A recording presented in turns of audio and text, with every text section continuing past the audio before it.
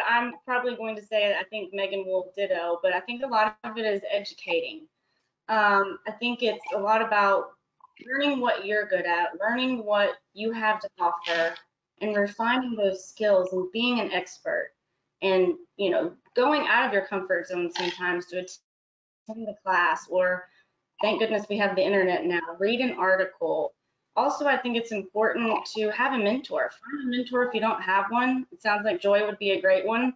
Um, but find somebody that you respect and that you want to share things with, that you will really take some things back to heart. I think that's very important um, as a woman in business and just in life in general, is having that mentor and somebody that you can bounce things off of when you're having problems. So yeah, Carrie took two of my three. Um, I'm definitely alongside you with, you know, find a mentor, educating yourself, you know, read books, watch videos. TED Talks are very, very powerful. Um, a new item that I would like to add in is, you know, be watchful. Um, and it can be something as small as when you're sitting there in a meeting and somebody grabs your attention. I like to kind of use that moment to you know identify you know why am i drawn to this person? Because in my eyes they're a leader. And i kind of recognize you know what are those things that are you know engaging or or what are the different um, habits traits behaviors that i really like about that leader? And i try to mimic and mirror um, those moving forward. I almost kind of make it like an action step um, and and you know a bit of a homework assignment. Okay, so when I was sitting in that meeting, I recognized you know person did X Y Z. I remember that, and then at my next meeting, I try to go ahead and implement it and use that that new um, new leadership style to to refine you know my leadership skills.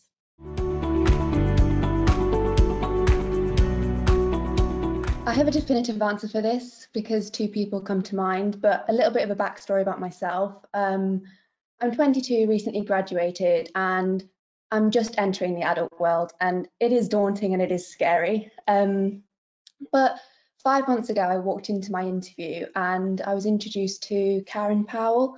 And Karen, I immediately knew I was in safe hands. She has been my leader, my mentor, my advisor, um, but she's also been a mother figure and she's really been that shoulder to cry on. Not that I cry at work, but um, it happens. Um, but through Karen, I was also introduced to the most inspiring senior male ally that a young girl starting her career could ask for. Um, and this was Julian Miller. So I know he's probably watching now and he's going to kill me, but Julian has taught me so many valuable lessons. And but above all, he's really taught me how to believe in myself and my capabilities. And from both of them believing in my intelligence to allowing me to express my passions for everything diversity and inclusion, I'm able to be here today. And I know I have learned so much from them over the last five months. But when my career journey has progressed in a few years' time, I'll look back and these are the two most inspiring people that uh, will remain with me forever. And I'm very, very grateful for everything they've done. They've really helped me in ways that they're unaware of. Um, so I'll forever be grateful for them. So for me, uh, my role model and my leadership mentor are very different people. So in the interest of time, you know, I would kind of talk about the person who was the most influential role model to me and really demonstrated to me that theme of breaking the bias. And it was actually my grandfather. So I realize it's International Women's Month, but let me kind of back into this one for you. So my grandfather was born in 1890. So just sit with that number for a minute. So he was he was elderly when I was born, by all means, and when I was young and lived near him, obviously an elderly man.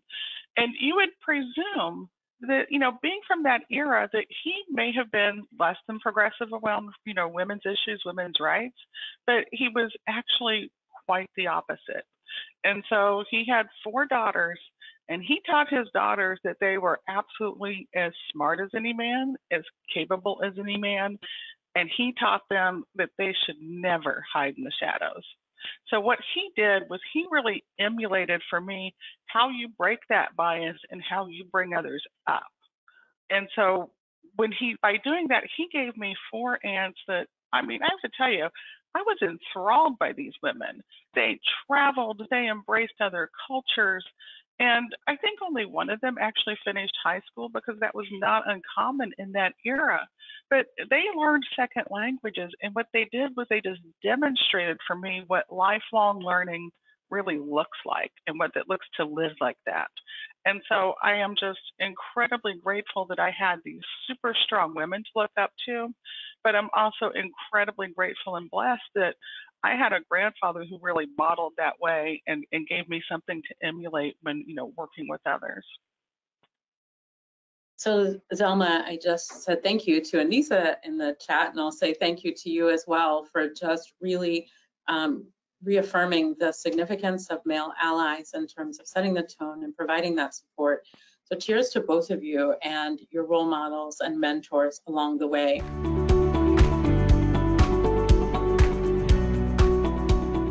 So, you know, I, I wanted to just say to be available, be open, and, you know, get curious. Um, and when I say that, you know, ask questions. Um, I think both personally and professionally, a few of you have mentioned in today's discussion, you know, to, to understand a person's why, get to know their purpose, you know, personally. Professionally, I like to say that is, you know, use it as an exploration exercise um, you know, you get to meet someone new, you get to hear about their job, a new position, a new team, a new division. That may be a new opportunity for you. Um, so I, I, just really say, you know, to, to get out there, um, be yourself, get curious. And, you know, we are so blessed to have a leadership team, you know, that promotes self development and growth. You know, lean into that, use that to your advantage to me this is obvious really but it doesn't happen as much as it should do. Um, we all need to just align with one another and champion each other support each other and we all know that there are less women in leadership roles but that's where it's especially important for those women to advocate for women at different stages in their careers and build relationships where they can and find mentorship opportunities wherever they can. And um, it's actually as simple as words of encouragement and praise. And I know that we've all, she's not expecting this, but we've all had email correspondence from Charmaine. And I know with every single email that Charmaine has, she always includes a line saying, I appreciate you, I appreciate the work that you do. And it's really simple things like that that make a difference. I see that and it makes my day, and I'm sure it does to a lot of you as well. But it's simple things like that which we need to adapt into our everyday lives. And we will go a long way. We just need to support each other. Lead by example and bring women up because I think when other men see that, that will kind of reciprocate to the other men around. Um, it's just leading by example, giving credit where credit's due, congratulating women for their achievements, I think would be one suggestion. Watch how the room is going and if whether it's male, female, or whoever you want to identify as, if somebody's speaking up and they're not being heard, if you can be an ally for that person and speak up for that person and, you know, try to say, listen to this person, give that person a chance to stand up and say something. Perfect, thank you. And sometimes it's just as simple as asking people how you can support them. That was something very powerful that early leaders and mentors in my life did for me. Um, sometimes I didn't always have the answer right away, but I knew that the door was open for me to come back once I identified what that one thing was that they could do.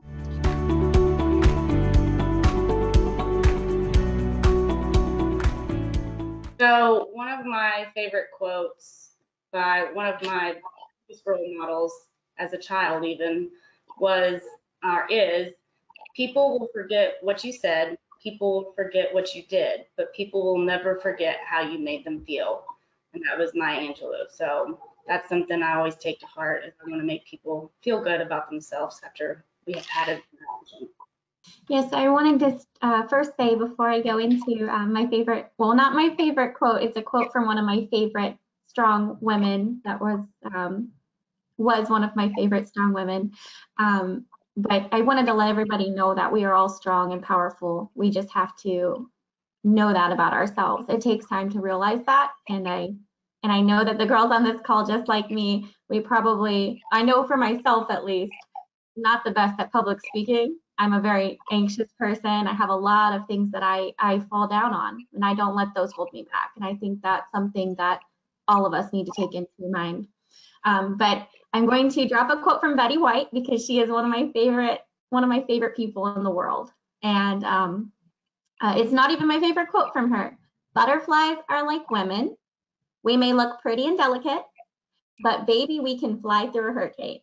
And that that says a lot to this tone of this meeting, and that's why I chose that for you guys. Take that with you today. Okay, um, well, this my quote's not from a female, but I just I live by this. Um, a really great mentor has taught me this quote, and I I say it to myself every single day that your destiny is not left up to the chance. It is a matter of choice. So you, I just encourage everyone to just choose to live the life you want to live and live it intentionally.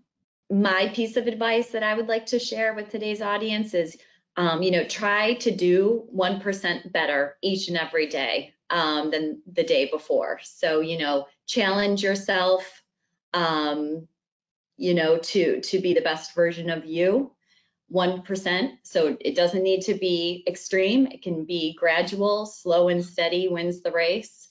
Um, and you'll be surprised how far you, you know, you grow um, in a week, in a month, in a year. Um, so yeah, I challenged myself to be 1% better each day. And that's taken from James Clear of the book Atomic Habits. Mine is uh, a quote from Wayne Dyer and it um, is when you change the way you look at things, the things you look at change. And it always is just a reminder of me that there's always another perspective other than my own, and that my perspective can shift and grow and change as well. And I'll leave that there. Something that stuck with me, I read a while ago, um, really helps because I think a lot of us and myself suffer a lot from imposter syndrome and self-doubt but i read something that said she succeeded not because she didn't have failures and because she didn't have doubts but because she carried on fighting despite them and i think that's something i'm really trying to work on and it's stuck with me so this was a quote and i honestly i'm not quite sure where i got it from but it's one that I love because it reminds me to take risk, and it's the one that's written at the top of my whiteboard. And that is stop letting your potential go to waste because you don't feel confident or you don't feel ready enough. People with half your talent are making serious waves. Well, you're waiting to feel ready. And and I think if anybody knows me personally, they know that I I'm probably more of a risk taker than most, but I think that you know you get one shot and stop waiting until you feel ready to do something. Just go ahead and lead um, my favorite quote. And so the book ends, Carrie, I'm going to follow your lead. It's Maya Angelou, and it's You may encounter many defeats, but you must not be defeated. In fact, it may be necessary to encounter the defeats so you can know who you are, what you can rise from, and how you can still come out of it.